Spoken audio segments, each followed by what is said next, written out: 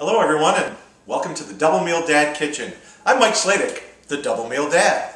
Uh, the concept of DMD is a simple one. How can I stretch my dollar farther uh, and use food, get flavorful food, buy more quantities of things that are on sale, and be able to make different types of meals, uh, i.e. the double meal. Today we've chosen pot roast.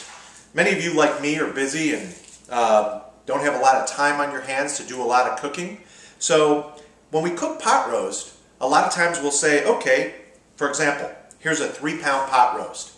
And I made a very simple preparation of that. I simply used a crock pot, got myself a little Chicago Weber steak seasoning, put it on top of that, chopped up an onion, and got myself a nice bottle of our local beer here in Texas, the Lone Star Bock beer. And of course, I just got it all set before I went off to work this morning. Set the crock pot at low and 10. Come home from work, and you've got a delicious meal of pot roast ready to serve to your family. Now, that's the first meal. And with that first meal, you can do a lot of different things. Um, we can serve it with mashed potatoes, and I've made some mashed potatoes back here. You can serve it with some frozen vegetables or grill up some vegetables when you get home. All this to make your life a lot simpler. Uh, when you get home after work and you've got the family, you've picked the kids up, you want to make your job a little bit easier in getting meals ready and not always have to run out and go somewhere else uh, or go to fast food or something of that nature. So I've got a beautiful pot roast here, all cooked up, all ready to go. Got some onions on it. I'm just going to take it and put it in my pot here. So for this recipe, we're using pot roast. And again, the concept is, if I'm going to cook a pot roast, why not go ahead and cook two at the same time? You're going to go ahead and put it in the crock pot, or you're going to put it in the oven. And by the way, I'll be posting the recipe for the pot roast on the YouTube site. So you will have all of the ingredients. Like I said, it's really simple. Bottle of beer, some um, seasoning, one onion chopped up. Not hard at all, very simple to put together. Um, as long as you're going to turn on the crock pot or the oven, why not go ahead and make a little bit extra? And from that, the leftovers, we're going to make now our shepherd's pie. So the shepherd's pie is really easy to put together. Again, this is something, you've got the leftover meat, you can come home, throw this together in 10 to 15 minutes. Go ahead, make sure the kids are, you know, not destroying the house or anything of that nature. I'm going to start very simply. Let me get this out of the way. We're going to use this juice, by the way, from the pot roast here to make a little uh, gravy for it uh, later. I'm just going to chop up a few, uh, a few mushrooms here, get these started. And uh, we're going to use this as kind of our vegetable inside the shepherd's pie. So it's really simple. The ingredients are, of course, our leftover pot roast. I've got some already cut up here. So we're going to go ahead and get this started. Just a little bit of olive oil. I know some of you are trying to cut some of the fat out of your diets. Not a problem if you are. You can use olive oil or you can use butter. One tablespoon of butter only has like 16 calories in it. So you're not really hurting yourself if you use that. Let's go ahead and get this going. While we're doing that, I'm also going to cut up some corn on the cob. Our, uh, our local grocery store this last week had six ears of corn on the cob for a dollar. So, I mean, you can't beat the price. And if you're going to go ahead, let's say you have a family of four, you're going to buy four ears of corn, or maybe you're going to buy two ears of corn and cut them in half. Why not buy yourself double that amount? Go ahead and you're going to turn the grill on and roast them, or you're going to boil them, or you're going to put them in the oven. Take the leftover cobs then you have, and it's really simple. You're going to make cream corn, you're going to make some something for a meal. You just want to cut that corn right off the cob. And we're going to use this now in our recipe. Instead of buying canned corn, which has a lot of salt in it, or uh, you know, buying frozen corn's not too bad for you. Uh, but instead of buying that, you know, you can save yourself a lot of money by as you go through that circular, looking at the different things that are on sale, and just doubling up. And the beauty is that I don't feel like I'm eating pot roast two days in a row. You know, a lot of times we have leftovers. We almost feel like Thanksgiving, like we eat turkey for an entire month after, uh, after Thanksgiving. The concept here is to take the same type of meat but make very different flavored meals and therefore our families um, enjoy the, the meals more. Let me give you one other tip. I know this looks a little funny here, but go and get yourself a one pound plastic bag and just write on there for soup. Anytime you cut an onion, here's an example, I cut an onion earlier, took the skins off it, right? Or in this case, I just trimmed off the corn. Go ahead and throw that, those pieces in that bag. And just keep this in your freezer. And you'll start, and you'll have one or two items in here, and then you'll add a couple more items. And then once you've got the bag full like I do here, we'll save this for another time, just go ahead and make yourself some vegetable broth out of it. Great base for soups. Uh, we're going to do some etouffee later on, uh, and some other videos, and make a whole bunch of different things and much more uh, nutritious for you. No sodium at all. You get to control the sodium. So a great little tip. I'm going to go ahead and throw this in the freezer so I don't uh, forget to do that. I've now got my corn. I've got my mushrooms heating up here. While that's going on, I'm just going to scoop this up real quick.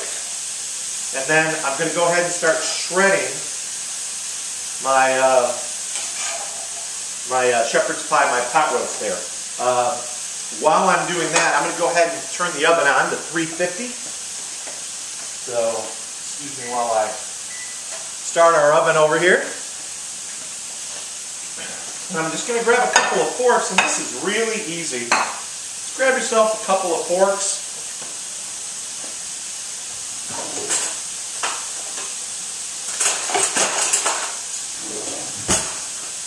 Just go ahead and take that leftover pot roast that we slow roasted and go ahead and shred that up.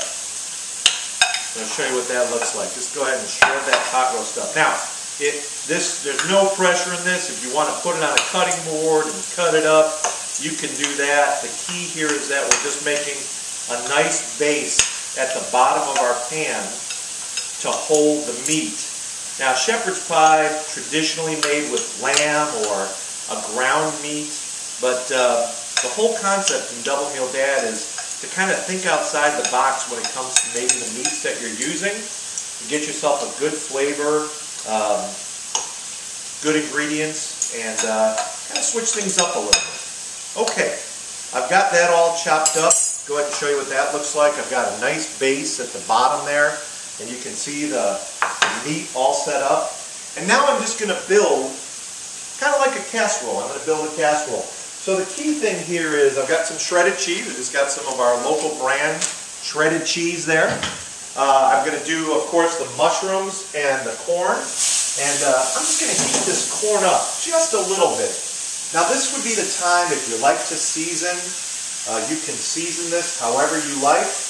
I typically recommend just a little bit of salt and pepper, some fresh ground pepper we're going to put in there. Just a little bit of that.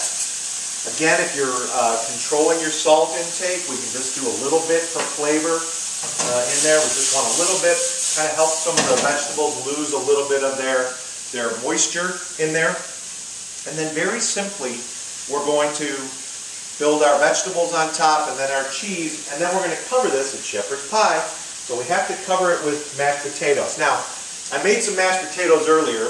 Uh, by the way, no pressure if you don't have time to make your own mashed potatoes. Uh, go ahead and stop by the store and pick up. A lot of the stores are doing a great job of making mashed potatoes for you, or even if you have to use the box, go ahead and use the box. Again, uh, we don't judge anybody at the Double Meal Dad Kitchens. Let me show you another trick.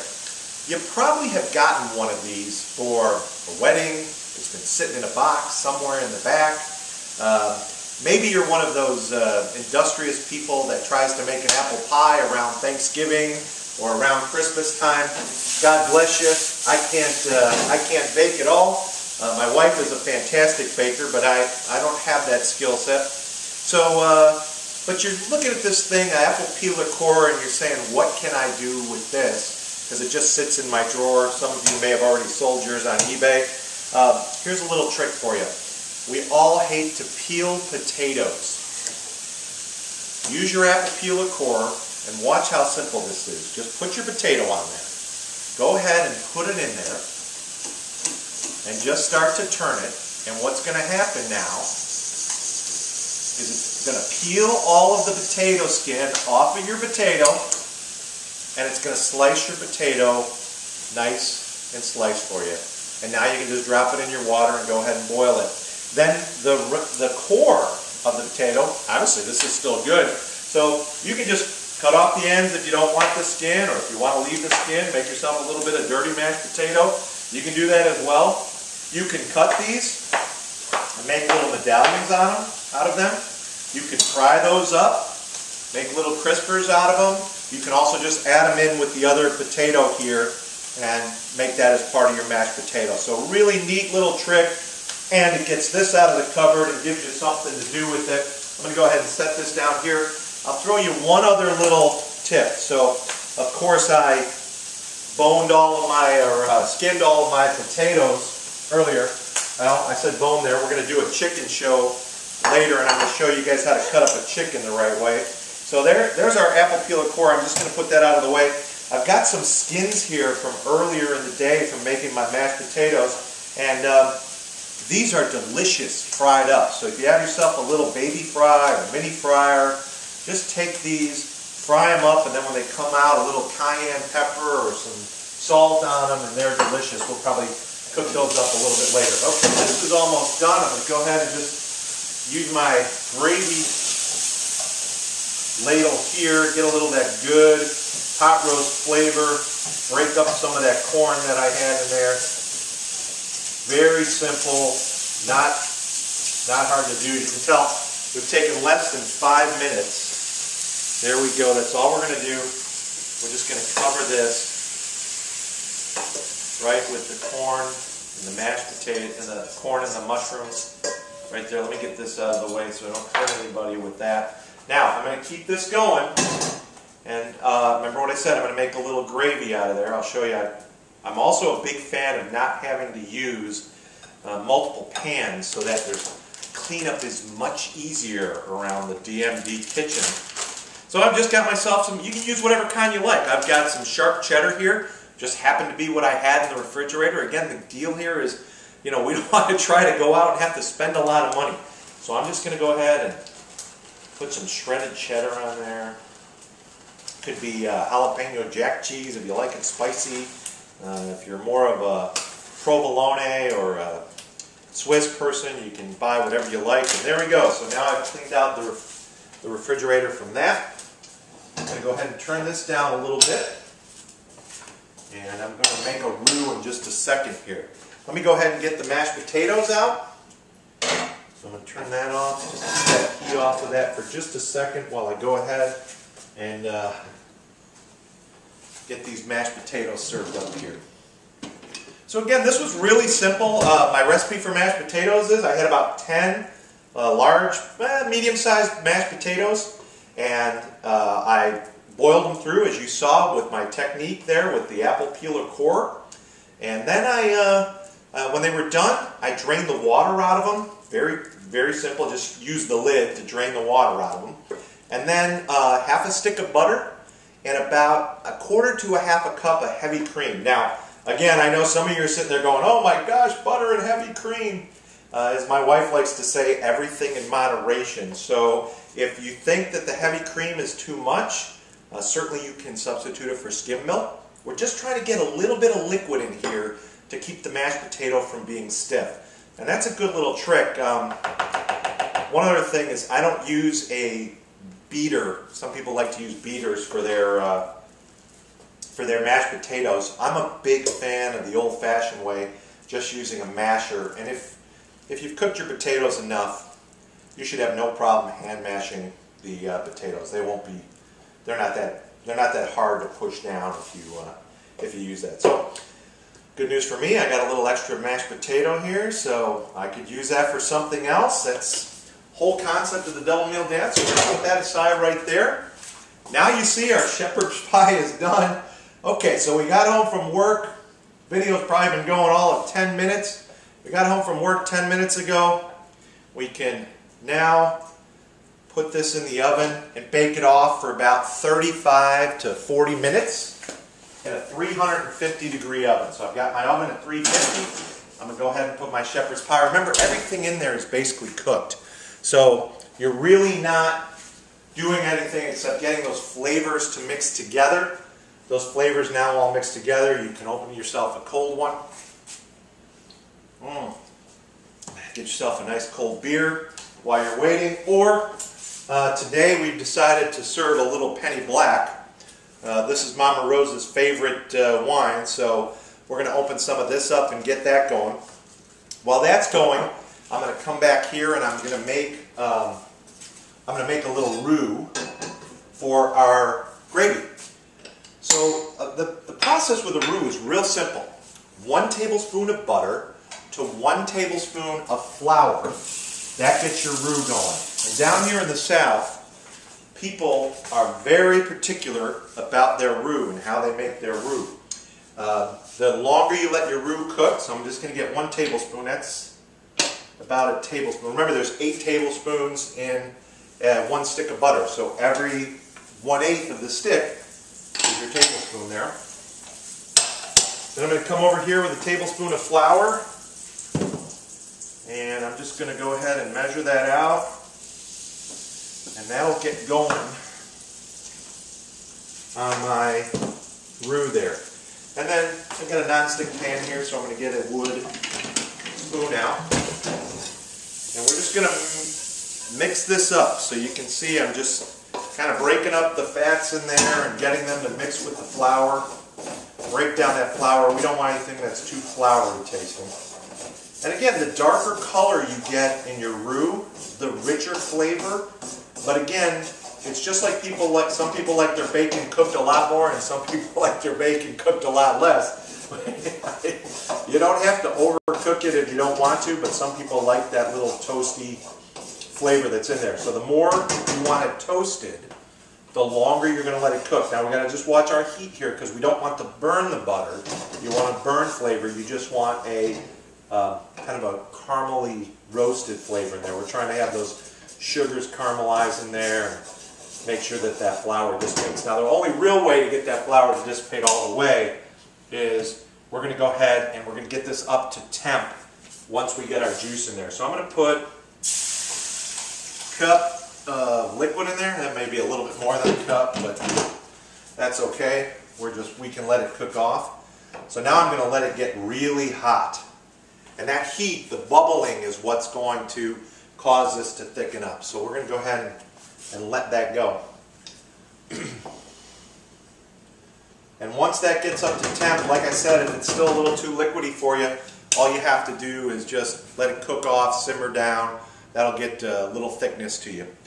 Well, that's it for the first show of the Double Meal Dad. I hope you guys enjoyed it. Like I said, I'll be posting the recipes for both the pot roast and shepherd's pie uh, on the link on the YouTube page. Uh, write me an email. Let me know what you thought of this. Let me know if you have some other ideas. Uh, and we're going to be doing some more videos coming your way, so look forward to hearing from you. Take care. Welcome back to the Double Meal Dad. The shepherd's pie is all done. We've got it completed, so we're pulling it out of the oven now. You can see it just got a nice light brown on top there, got a nice coloring. Remember what I told you about those potato skins? Those leftover potato skins. I just took my little fry basket out right here, put in a little bit of vegetable oil, just a little Crisco pure vegetable oil, put that in there, set it at 350 nice and crispy. Now you can use this. You can uh, go ahead and garnish the top of your shepherd's pie with this, or you can cut it and serve it on a serve it on a plate and then garnish the top of it. And then we went ahead and took that flour and butter. We made a nice roux out of it. Remember we added that gravy there and now we've got a nice thick gravy. So we're going to go ahead and serve this up ladle it right on top of that shepherd's pie. I'm going to go ahead and cut a piece of that shepherd's pie out and show you what that looks like. Grab a plate here. Grab a nice big spoon. My mitts out of the way there. We're going to go ahead and just cut right into that shepherd's pie. Go all the way down to the bottom so we get all that meat and all that corn. And there we've got a nice serving of the shepherd's pie. We're going to go ahead and put a few more of these right on top of here. Just a little bit of crisp on top. And then we're going to ladle in some of this good gravy right here. Right on top of that. Real simple meal. Like I said, folks, didn't take very long to make. You saw me go through the process. And there we go. The Double Meal Dad Shepherd's Pie. Thanks for joining me today. Have a great day, and I look forward to seeing you back in the Double Meal Dad kitchens. Take care, y'all.